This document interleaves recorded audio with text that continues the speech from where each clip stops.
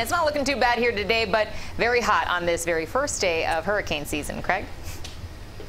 Yeah, pretty hot out there today, but then we're in summertime. There's no more big cold fronts coming, so this is it until October. Here's what's going on, though, this afternoon. Unfortunately, let's hope this isn't it until October.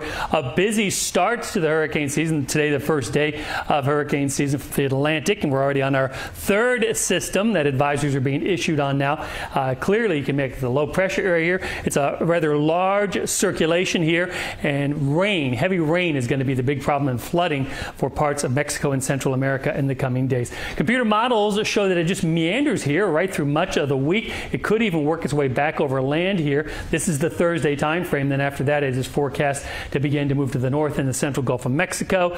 And the reason it's kind of trapped down here, at least for much of the week, it's because of something known as the Central American Gyre. It's just a big low pressure area that forms here during the summer rainy season, the monsoon uh, down there in Central America. And for much of the week, it's going to be trapped under that. The gyre is forecast to move a little bit to the west, and that's when that system does get a nudge to the north. Here's the latest advisory. Uh, the first advisory is at 5 o'clock today. And then here's the future track, also incorporating that kind of stalled motion down here in the southern Bay of Campeche. And then after that, it's to the north. Uh, of course, lots of uncertainty in this time frame of what it's going to be like. Uh, could it be a weaker system, a stronger system? Too early to tell. Certainly something we'll keep our eyes on. Everybody's Holiday Park camera this afternoon. Some clouds out there, but otherwise looking good. High was 90, low 77, pretty close to the normals for this time of year. So typically hot, 88 and 76 Fort Lauderdale, Hollywood, and 89 and 83 in Key West. Winds right now have been gusting up to around 20 miles an hour, but nothing too bad. The breeze is going to build in the coming days, and the uh, breeze is also going to start carrying more showers with it.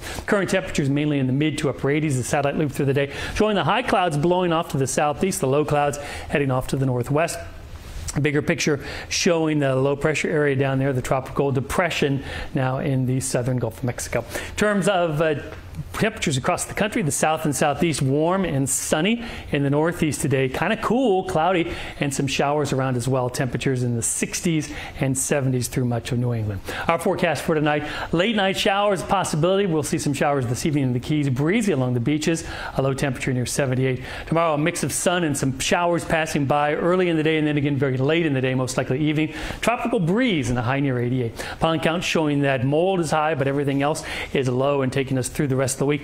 Looking a little bit more stormy after a pretty nice weekend and could be pretty breezy at times as well. Back to you. Craig, thank you.